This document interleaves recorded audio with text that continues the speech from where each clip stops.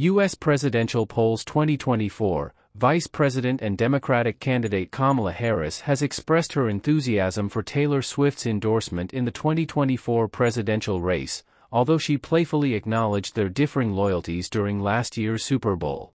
In a recent video, Kamala Harris addressed Taylor Swift's high-profile support for her candidacy, which the pop superstar publicly declared on September 10 after a debate with Republican candidate Donald Trump.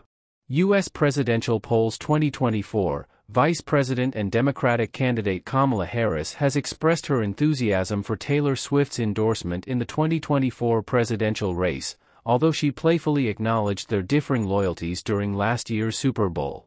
In a recent video, Kamala Harris addressed Taylor Swift's high-profile support for her candidacy, which the pop superstar publicly declared on September 10 after a debate with Republican candidate Donald Trump.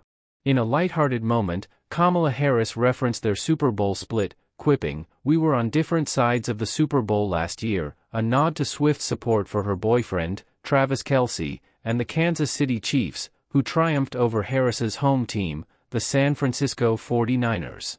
But who's mad at anyone for being loyal to their team, she added with a grin. Taylor Swift and Travis Kelce have been dating for over a year, with the singer frequently attending games and proudly donning the Chiefs' colors. Meanwhile, Kelce's friend and star quarterback, Patrick Mahomes, has opted for neutrality in the political arena. In contrast, Mahomes' wife, Brittany, showed support for Trump by liking a post that highlighted his key policies.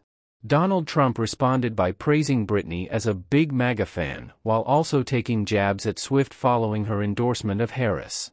Taylor Swift's endorsement came through a detailed Instagram post where she reaffirmed her loyalty to the Democratic Party and criticized AI-generated content, taking a swipe at Republican candidate Donald Trump while labeling Harris a warrior.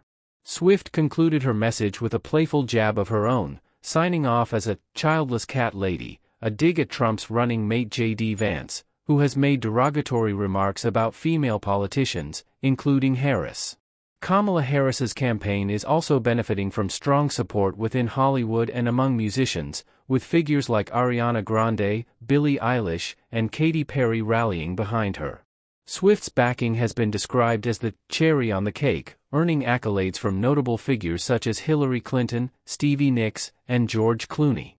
However, it has also drawn criticism from MAGA supporters, including Trump's running mate J.D. Vance and journalist Megyn Kelly.